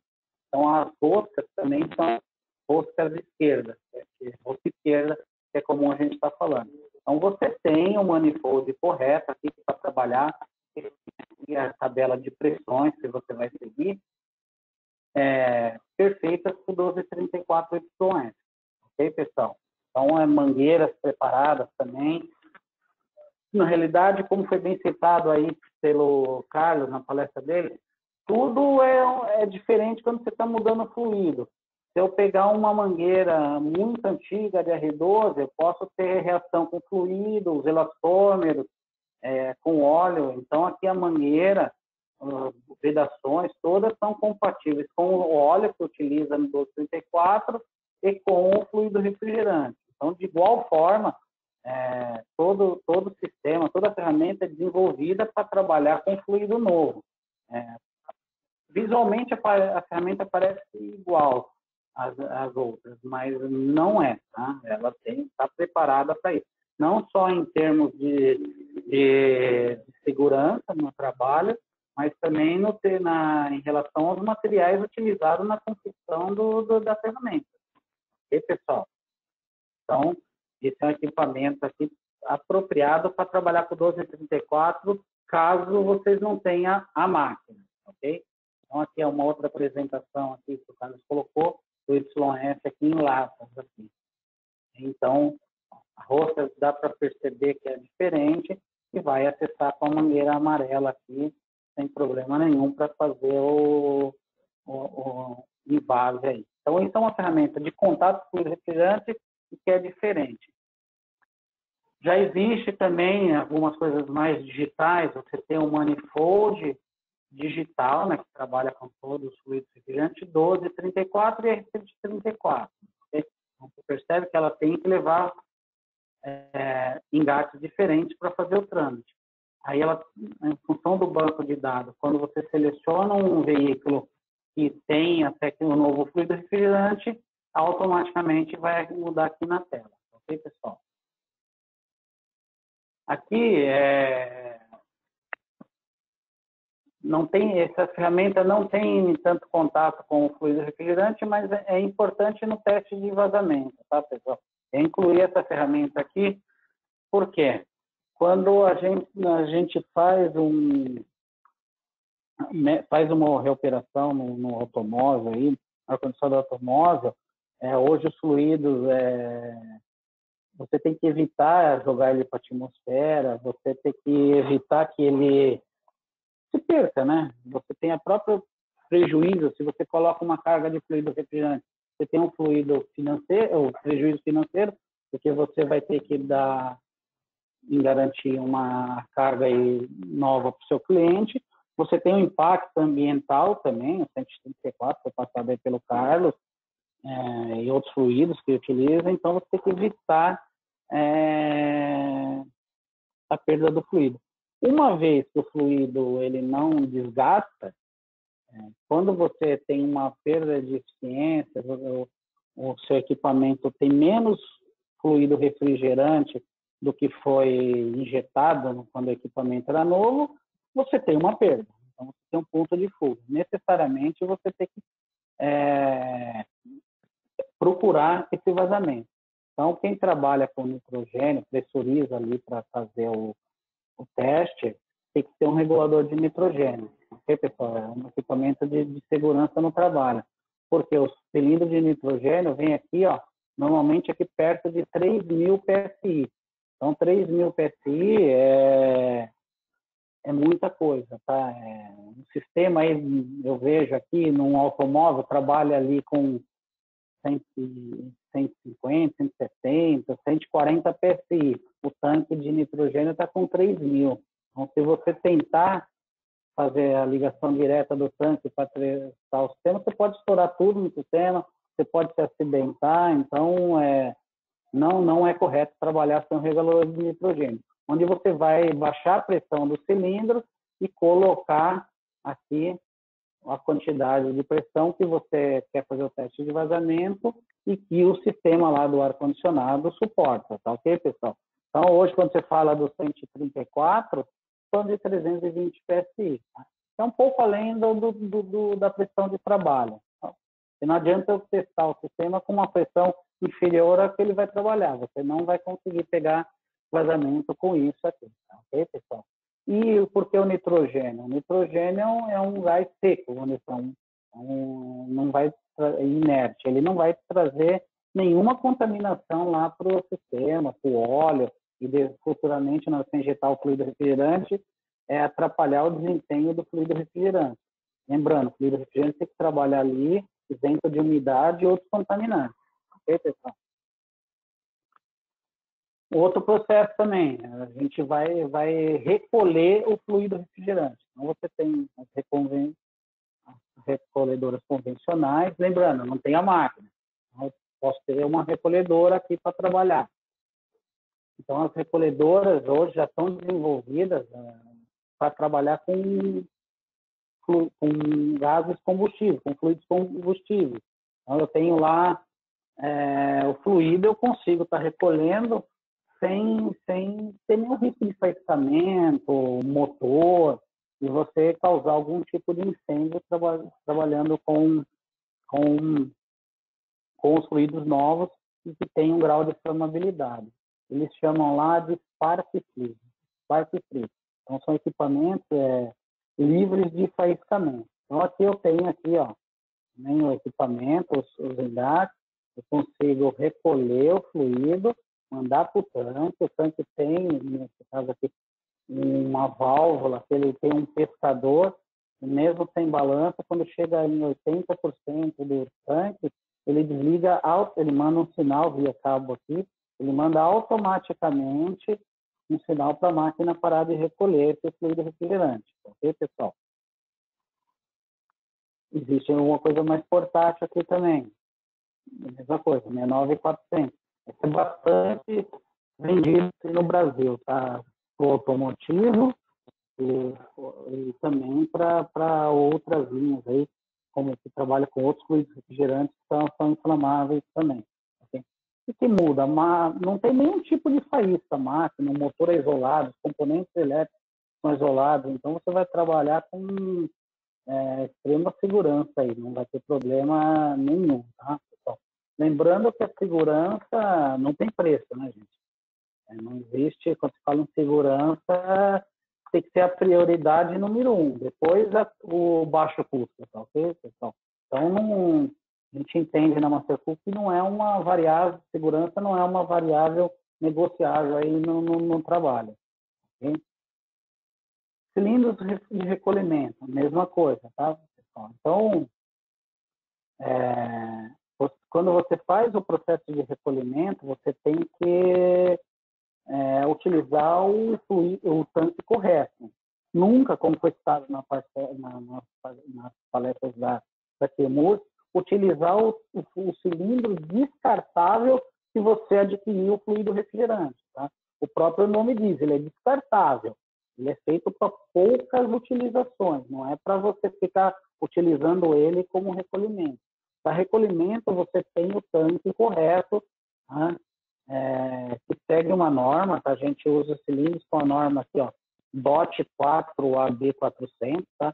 que é o que suporta maior, maior pressão, ah, é um cilindro que eu trago para utilizar com R410A, tá? que trabalha uma pressão o dobro aí do, do fluido convencional. Okay?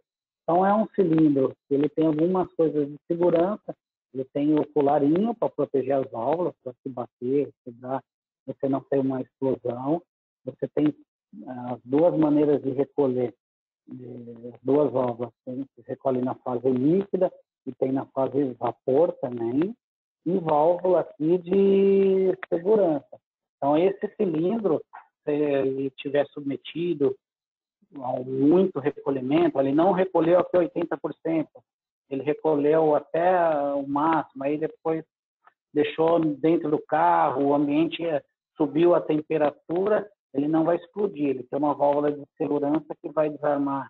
Então, você vai perder o fluido refrigerante, evidente, e eventualmente perder o tanque também, tá? Porque é um, é um lacre de segurança contra explosão, não dá para sair posto, mas você não vai causar um acidente a alguém, ninguém vai se machucar e você não vai perder o porta-mala aí do carro. Tá? É muito comum aqui no, no, Brasil a gente trabalhar com essas três apresentações. O 12 quilos, isso é bastante forte no automotivo, é bastante vendido para automotivo. O de 23 quilos, né, para 50 libras, esse é, é mais é, com pessoal de ar-condicionado, utiliza, compra mais esse. E o de 46 quilos, tá, okay? que aí é mais indústria que acaba utilizando. O volume já é um volume maior é 46 quilos de fluido refrigerante. O tanque já vai ter mais uns 30 quilos de peso de água, tá? Todos esses tanques aqui usam chapa bem, bem grossa, tem teste de hidrostático que garante a solda. Então, um cilindro desse aqui pesa uns 30 quilos. Então, por isso que isso é mais industrial. 46 com 30, 76 vai estar utilizando aí quase 80 quilos aí é, não é tão simples o manuseio em oficina ou no campo, tá ok? Por isso que o pessoal utiliza mais esses dois aqui, tá? As duas apresentações.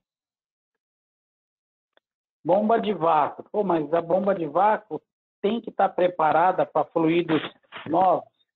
Sim. Né? A bomba de vácuo, ela também tem todo um motor elétrico aqui, ela tem todo um, tem o capacitor, tem o, o botão de partida. Você tem uma série de itens que é, podem estar sujeitos aí a soltar faísca e, e, e colocar em combustão fluido refrigerante. Por quê? Às vezes até o sistema está esgotado, mas pode ter algum, algum fluido ainda dentro do sistema, quando ele vir, algum resíduo que passa pela bomba, e o próprio ambiente. Você está trabalhando num ambiente que você manuseou esse fluido refrigerante inflamável, é, eventualmente pode não ter tido uma perfeita ventilação e esgotamento. Quando você acionar a bomba, você pode gerar um faiscamento. Por isso que você tem uma bomba que ela é, vamos dizer aqui, o spark free. Então, toda essa parte, esse mecanismo e motor, eles são isolados para você não ter nenhum tipo de faísca, tá? Okay? Então é a bomba apropriada para você trabalhar com, com o fluido refrigerante é, 1234, ter essa flamabilidade, uma leve flamabilidade, ou qualquer outro que tenha flamabilidade também, tá ok? Então, então ela tem que ter essa função Spark, essa característica de Spark Free aqui, tá? No sistema. É, que é um item acessório, né, que eu pus aqui para complementar, você você está fazendo aí o serviço sem a máquina e com precisão, tá ok? Então eu recolhi lá do automóvel é, o fluido refrigerante. Então, assim, é, pela norma, corretamente, não existe completar fluido, ok? Por que não existe completar fluido no automóvel ou em qualquer outro equipamento? Porque você não sabe a carga que você não sabe quanto vazou. Então, se o, se o automóvel tinha lá originalmente 600 gramas, o cliente chegou e o rendimento caiu e você tem que completar, na teoria faria até sentido, mas completar de quanto? Quanto que eu vou completar? Não tem como saber, porque informação eu tenho lá no automóvel, no manual ou no capô quanto que vai de carga. Vamos falar, 450 gramas. Ok, eu sei que se eu tirar tudo e partir de zero, eu coloco 450 gramas. Mas uma vez que vazou, eu não sei lá se tem 200, 150 ou 300 gramas. Então, eu tenho que necessariamente recolher e botar a carga de, de fluido é, no, correta novamente, ok, pessoal? Então, assim, é, é um, balança é um, é um item bastante importante aí no, no, no, na boa prática, num bom processo de, recolher, de, de carga do fluido refrigerante. Tá? Por que não pressão? A pressão ela anda com a temperatura, então necessariamente você vai errar, tá? Porque você não tem como estar tá naquela temperatura desenvolvida que representa uma média eu não tenho como fazer isso. Eu não tenho, não tenho como fazer essa carga. Então, se está um dia frio, você vai provavelmente pôr mais fluido refrigerante. Se está calor, você vai pôr menos. Eu não tenho como acertar. Em que pese eu já sei, ah, mas funciona. É, eu sei que funciona. Ele vai ligar lá, ele vai então vai gelar, mesmo que parcialmente. Mas eu costumo usar quando eu falo com automotivo, ok, se eu for lá e tirar uma vela, um cabo de vela do carro, ele também funciona. Só que ele vai funcionar é, com, com quatro cilindros, com três cilindros. Então ele vai funcionar com ineficiência de desempenho e com ineficiência de consumo, de energética. Então, se eu ponho fluido errado, a carga errada de fluido refrigerante, ele provavelmente pode ser que ele gele, ele até ele gele lá no, no, na cabine. Mas ele vai trabalhar muito mais tempo o compressor, você não vai chegar na, na temperatura ideal, então ele vai trabalhar de maneira ineficiente. Não é isso que a gente quer, tá? E aí não é uma falha nem, nem de equipamento do, do automóvel, nem uma falha do fluido refrigerante, tá? Ele não tem, não tem como trabalhar corretamente. Então a balança você vai usar nesse momento aí de dar carga no fluido refrigerante, de fluido refrigerante no automóvel. E também quem não tem a recolhedora, que tem aquele sistema de pescador, tá? Que você consegue que você consegue fazer o, o ela desligar automaticamente. Você tem um tanque convencional, você tem que colocar uma balança embaixo do tanque na hora que você está recolhendo. Então, eu sei lá que meu tanque tem a tara de 10 quilos ele cabe mais 20 e o total já está com 30, é, você tem que fazer o. Você tem que fazer. É, você não pode utilizar mais a, aquele cilindro. Como que você vai controlar isso? Através da balança, tá ok? Detecção. Como eu falei, você pode detectar com, tentar detectar com o nitrogênio, dando uma pressão no sistema e vendo é, se tem vazamento, tá? Mas quando é micro vazamento, esse sistema não é tão eficiente, tá, pessoal? Aí você tem que usar outros métodos. O método, é, através de contraste que você adiciona no, no compressor, isso é muito cuidado, tá, pessoal? Você tem que saber se o fabricante, se o carro está na garantia, se o fabricante permite isso, como que funciona? Você injeta o contraste e através de uma lâmpada UV você vai procurar onde onde sai onde onde se destaca tem o óleo. Por quê? O fluido refrigerante, como a gente citou, quando ele está trabalhando no sistema, ele está trabalhando e arrastando óleo. Ele está andando com, com óleo. Onde você encontra o vazamento, esse óleo vai sair. E onde vai sair, se ele tiver contraste, você vem com a lâmpada e, e faz aí a detecção do vazamento. Tá? Principalmente quando você tem vazamento muito pequeno, você vai abrir mão dessa tecnologia e dessa aqui, tá? Principalmente aqui do, do detector eletrônico, tá? Então você, você vai pegar vazamentos muito menores do que o nitrogênio, ok, pessoal? Aqui eu vou dar, daria destaque para esse último aqui, que você ó, vai pegar os fluidos convencionais e os inflamáveis, 1234. Então, é um equipamento homologado para trabalhar com 1234 e outros fluidos refrigerantes. Esse é um equipamento que a gente chama do cheirador. Então, ele vai, ele trabalha com diodo aquecido, quando tem uma bomba de sucção aqui dentro, um aspirador, quando ela passar ali pelos pontos de fuga, é, ele vai succionar o fluido refrigerante vai passar e a eletrônica vai detectar aqui se tem vazamento ou não do fluido. Ok, pessoal? Outro processo que é importante aí, tem é fundamental, o processo de limpeza do, do sistema, ok? É como foi citado na palestra ali, contaminação, impureza, é, é, sujeira física mesmo, queima de compressor, onde você teve ali desgaste, você encontra aquelas borras de alumínio em pó, isso aí você tem que fazer uma, uma limpeza do sistema antes de dar uma carga. Não adianta assim, o fluido, o compressor queimou, isso aí está andando, toda essa impureza dentro do sistema, contaminando o filtro, válvula, tudo, aí você substitui o compressor, dali a pouco esse compressor novo ele estraga também. Por quê?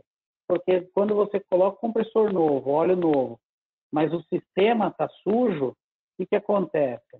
É, você vai arrastar essas impurezas, se for proveniente do desgaste, do uso da, do, do compressor antigo, levar tudo isso de volta para o compressor e esse compressor novo ele já vai começar a seguir um ter um desgaste prematuro, então vai ter a vida dele encurtada. Então você tem algumas maneiras de fazer a limpeza utilizando o, o SF80. Vamos já falar no fluido novo. Então poderia estar trabalhando com 141B e indo para o SF80.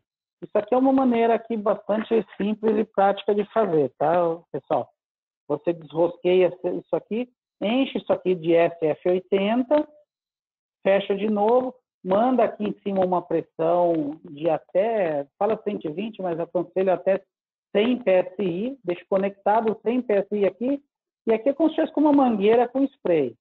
Eu conecto aqui no, no componente e aperto essa válvula, isso aqui vai esguichar o fluido de limpeza dentro do componente, seja ele uma mangueira, seja ele um condensador, e vai arrastar as impurezas, vai desengraxar, vai tirar toda aquela impureza que ficou acumulada durante o tempo de uso do equipamento, tá ok, pessoal?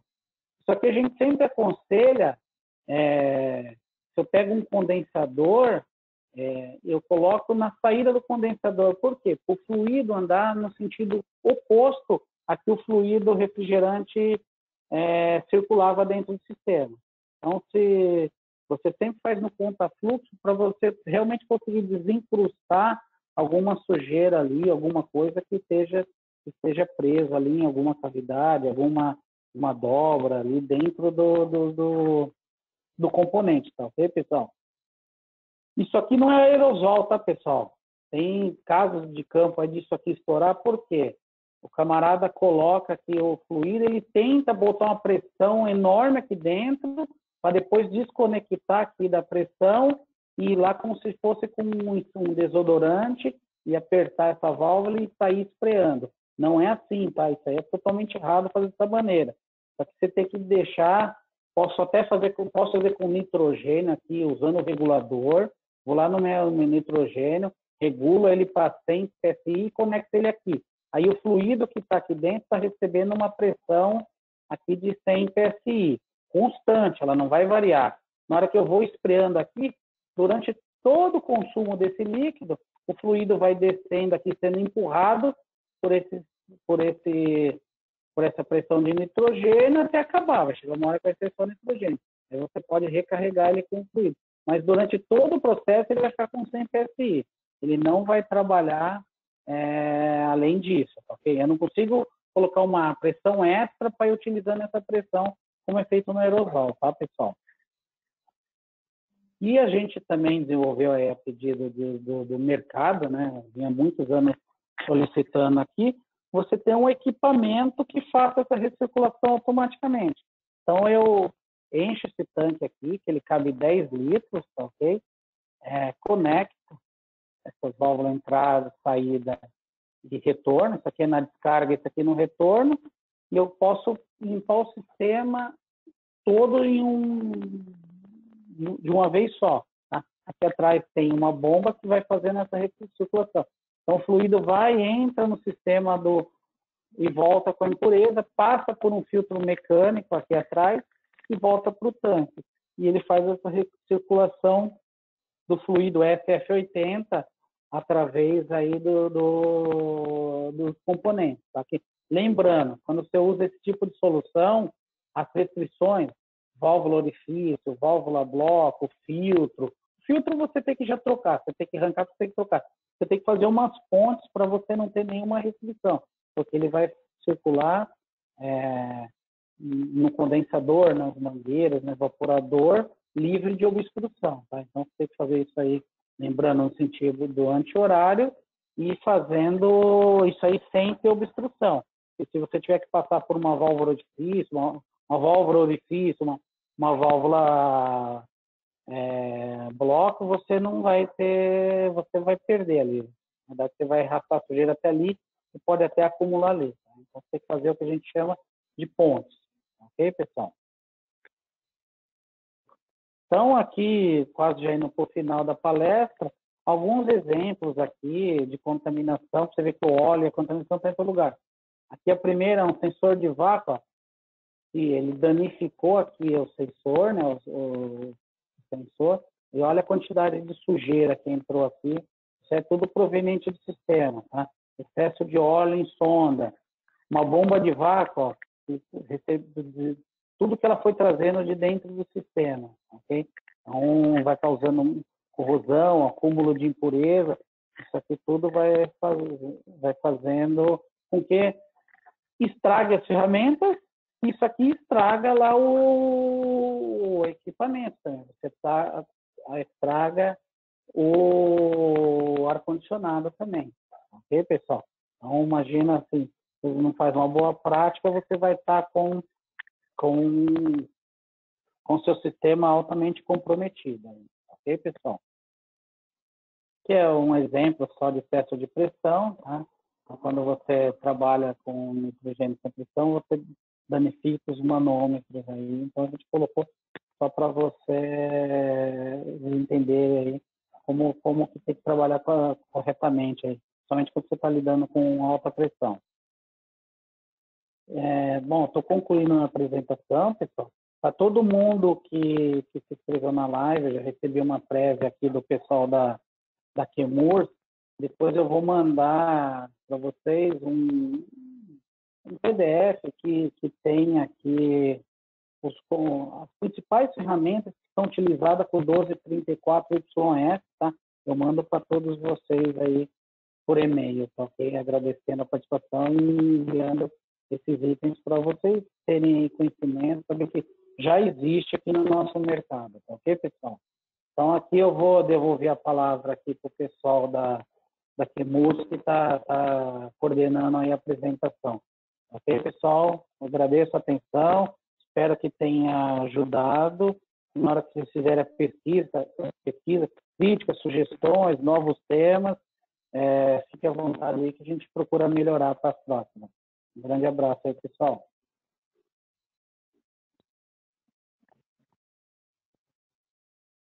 Bom, André, obrigado uh, pela participação. Né? Acho que, uh, uh, como a gente preveu no início, né, seriam duas apresentações de 45 minutos, agora a gente tem um tempo aqui dedicado para perguntas e respostas. Tá? Dani, você está é, conectada? Você pode ler? Vamos. Sim, claro. É, tem uma pergunta aqui que é do Maurício Vilar.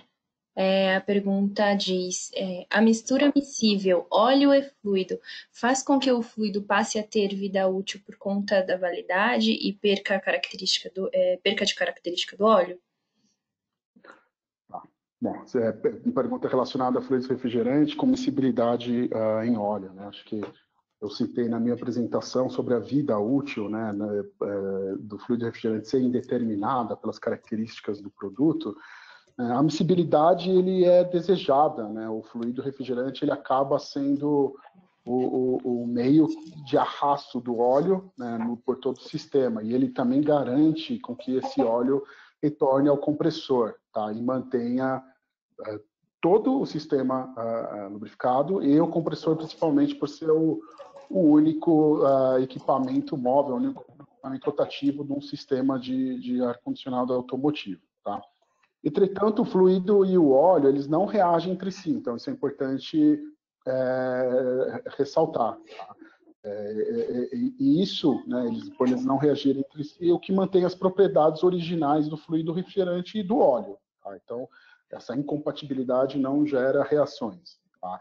Então, isso, né, por, isso por si só, já mantém a característica é, original do fluido refrigerante, de não ter é, vida útil determinada, né, tem um prazo indeterminado. Tá? Então, é sempre importante, né, por isso é sempre importante usar o óleo né, lubrificante indicado pelo fabricante do compressor né, e um fluido refrigerante de qualidade. Tá?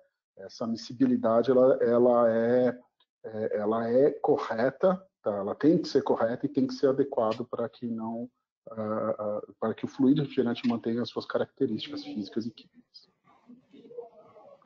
Uh, bom, espero ter respondido aqui a dúvida, né? Não sei se tem mais alguma pergunta, Dani.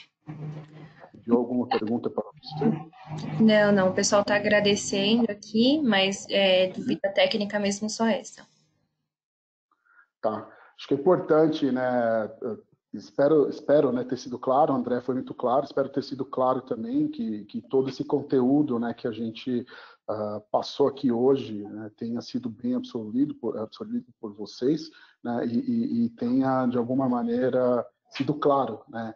É importante ressaltar que é o primeiro evento, a gente pretende criar um fórum né, de discussões, de treinamentos, de palestras aqui sobre uh, o setor automotivo. Né? Importante para a gente que preencham a pesquisa, né? os participantes desse evento preencham as pesquisas, né? É, é, qualificando né, o nosso evento aqui e, e sugerindo né, novas discussões, né, ou sugerindo melhorias aqui no nosso fórum. Tá? Agradeço mais uma vez, em nome da Quemuros, a participação de todos. Né? Importante é, é, agradecer ao André né, pela, pela participação. Né? Isso foi um desenvolvimento em conjunto nosso. Né? A gente pretende realmente levar conteúdo de qualidade, de produtos de qualidade, produtos diferenciados para o mercado. Tá? Agradeço, André, e se você puder dar suas considerações finais, ficamos assim.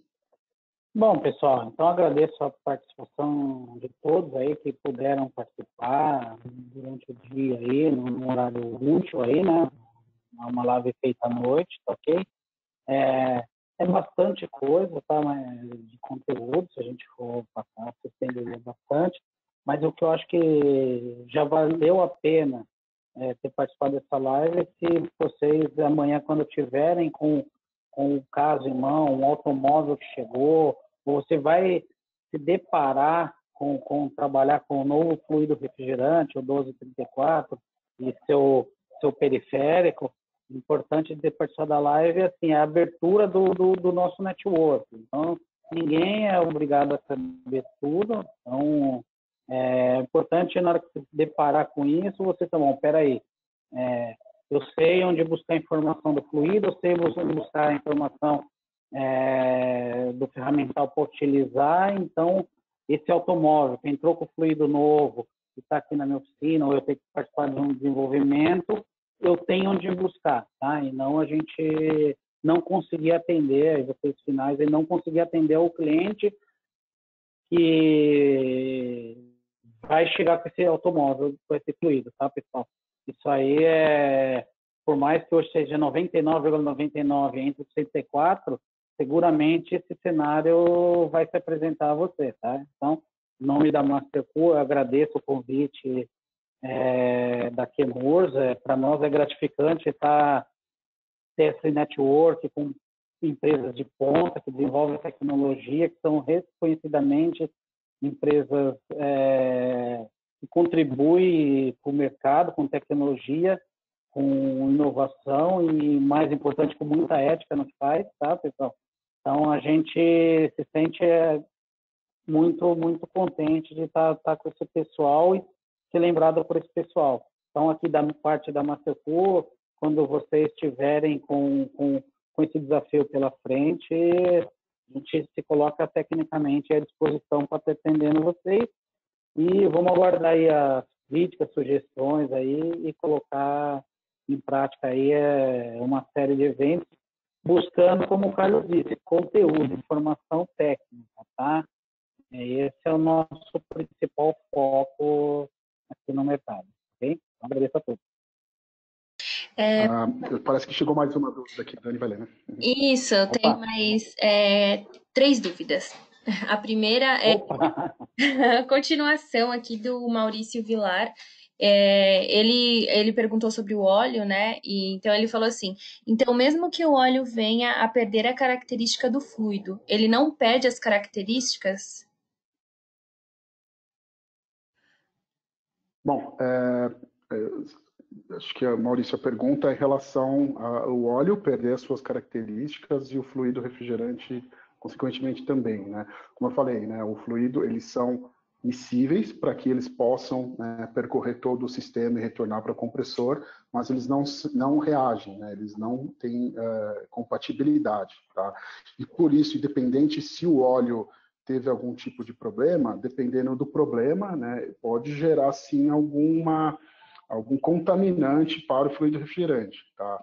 É, é, depende do tipo de, de, problema que possa ter acontecido. Né? De repente, o óleo, como a gente ouve no mercado, o óleo queimou, ou aconteceu alguma coisa mais grave com o óleo, mas eu acho que aí é uma condição de operação né, desfavorável. Aconteceu alguma coisa no sistema e provavelmente né, o fluido refrigerante ele realmente ele pode sofrer algum tipo de, de contaminante. Né?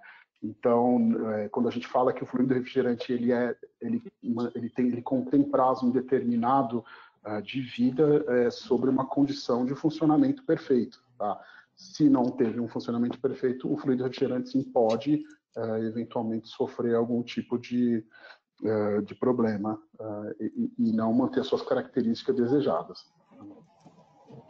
É, o principal impacto que vai ter, a gente vê, deixa eu só dar um complemento o principal impacto que vai ter essa falta de miscibilidade é, na realidade, o óleo ficar parado ou virar uma borra e o fluido vai continuar fazendo o, o, o caminho dele e aí você tem ali ou por uma por admissibilidade, esse óleo vai partir para a linha e vai sair do compressor e não vai retornar. Aí o que você tem ali? Você tem peças mecânicas, pistões trabalhando sem, sem, sem adequada é, lubrificação. Na verdade, aí você vai, imagina você tirar o óleo do seu carro e sair para andar, fazer uma viagem. Ele vai fundir mecanicamente ali o, o compressor. mecânico então, vai... Isso, é... mesmo que tenha o fluido, o fluido refrigerante ele vai estar andando. Não, se você pegar igual, fazendo analogia, você tira o óleo do seu carro e põe gasolina e sai para andar, o carro vai andar. Então, assim, o fluido estaria fazendo a vez aí da gasolina. Só que ali a uhum. falta de lubrificação, mecanicamente, você vai, vai, vai queimar esse compressor. Na verdade, ele vai, ele não queima eletricamente como um compressor de geladeira. Ele vai ter o desgaste ali, vai esfarelar, né? Ele vai, vai, vai perder até, até desgastar o pistão com a camisa e perder a compressão. Então você vai ter o dano por conta disso. É, beleza.